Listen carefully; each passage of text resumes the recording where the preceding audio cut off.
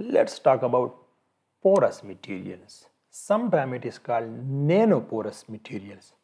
When you are synthesizing, synthesizing means preparing, making a nanomaterial. So how you will know that your material is a microporous material or macroporous material or mesoporous material, right? According to IUPAC, porous material are broadly divided into three types by the pore size. Porous mean pores which contain pores like sponge, you know, porous material contain a lot of pores. So let's know the differences. Microporous material. When you synthesize a material having pore size or pore diameter less than 2 nanometer, so that material we categorize under the microporous material. The example is zeolites which is dominating the market, you know the porous material and the recent developed material is called MOF. This is the second uh, porous material which is recently developed, right?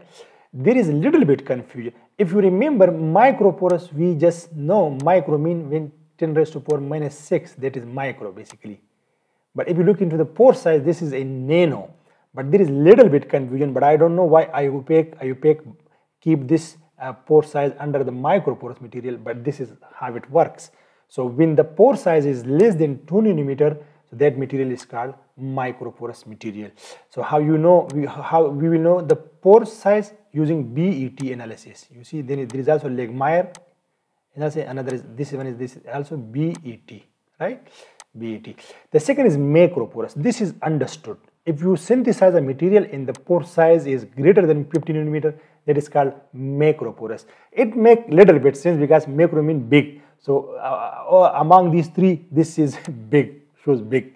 So if the pore diameter, if the pore diameter is greater than 50 nanometer, that you call macro. Mesoporous. This is what I synthesized during my PhD. Mesoporous material is when you synthesize a material and the pore size, the pore size is in the range from 2 to 50. It means that between these two. So between these two, this is basically called mesoporous material. If, if, a, if a material you synthesize and the pore size is just 40 nanometer. So 40 nanometer means that it is basically a mesoporous material.